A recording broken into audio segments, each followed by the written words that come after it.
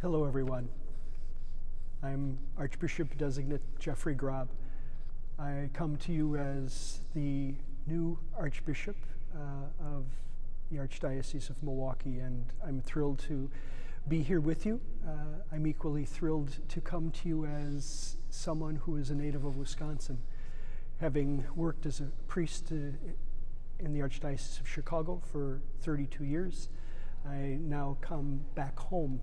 And so I look forward to getting to know you as best I can, to work together as people of faith to grow in the love of Jesus Christ.